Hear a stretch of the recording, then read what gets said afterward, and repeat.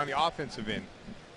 We, we see the signs, the glimpses of him being, you know, great. It's just a matter of just getting himself in shape, mentally staying locked in. As he gives a little leprechaun hop to drop that into the rim. Well, it's nice to see him wanting free throws to go in and